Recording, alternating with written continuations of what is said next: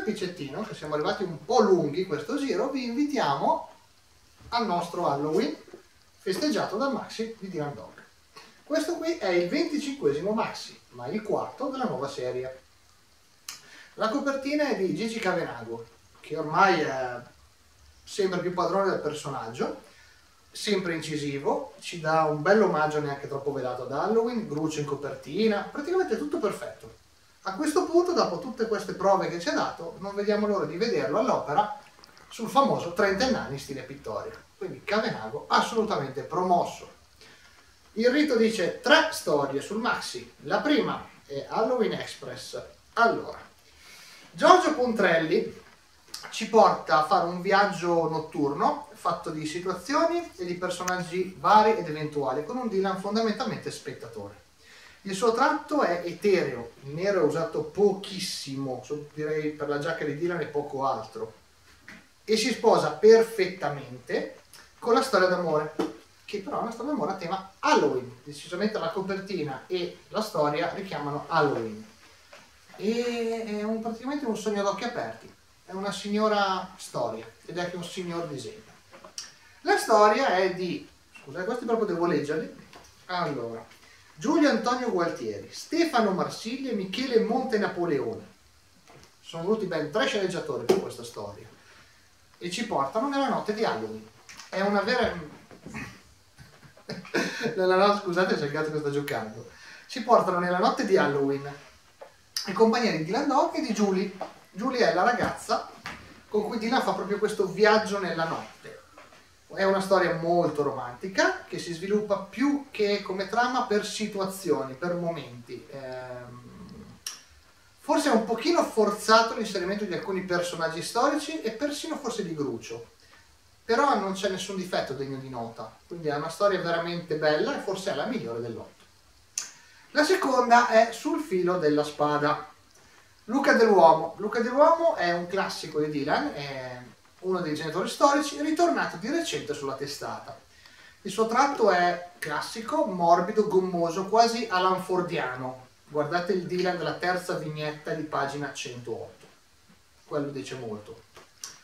E ci accompagna ad una mostra con tema Giappone medievale. Lo fa in maniera convincente, unendo sia parti molto alla Martin Mystere, quindi di indagine e spiegazione, sia parti molto molto action e non ci sono mai cali di qualità. Credo che da quando sia tornato sia il miglior dell'uomo che abbiamo visto, ma credo che possa alzare ancora di più l'asticella. Quindi sono convinto che in futuro potrà dare ancora di più dell'uomo. La storia, la storia di Andrea Cavaletto, che personalmente mi è simpatico, però questo giro ha fatto una storia fracassona, molto molto sconclusionata, di cui apprezziamo più le varie citazioni cinematografiche e anime, nel senso che troviamo Sean Connery, Occhi di Gatto e altre 3518 citazioni varie ed eventuali. E preferiamo quelle citazioni allo svolgersi vero e proprio, cioè ottimo uso di Grucio, ottimi personaggi che tengono in piedi però una trama francamente molto esile. Salvata in corner dal bellissimo finale, anche romanticissimo, forse anche amaro finale, di pagina 193-194 Diciamo che è una storia da prendere senza pretese. Leggetela e a molti piacerà, ad altri non piacerà. È una storia così, quasi più da ombrellone estivo. A cena con il morto. A cena con il morto chiude indegnamente il Maxi. Ugolino Cosso i disegni, ehm, come si dice, è una garanzia, cioè il suo tratto è sempre quello, non è mai cambiato, è uno stile immutato da sempre. Solo che Mm, i difetti sono sempre quelli. Cioè, Ugolino Cossu è, è, troppo plastico, sembrano molto manichini in posa i suoi, i suoi personaggi. Inoltre Dylan, secondo me, è disegnato veramente al limite della sufficienza, soprattutto i capelli. Cossu fa dei capelli che a me personalmente non piacciono minimamente. Però c'è da dire che non ci sono cali e non c'è discontinuità, il tratto è sempre quello per tutte le 94 tavole. Che dire, Credo che nel Maxi abbia trovato anche lui una sorta di dimensione, perché il suo tratto si sposa con quello che è il Maxi, dove non c'è innovazione, ma c'è tradizione. Però decisamente non rientra nel mio podio di disegnatori favoriti.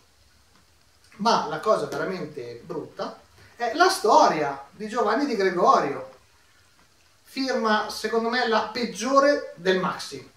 È una storia che ci dà la più antipatica delle dog girl che abbiamo mai visto, che è Magda. Che più antipatica di lei credo non ce ne siano mai state.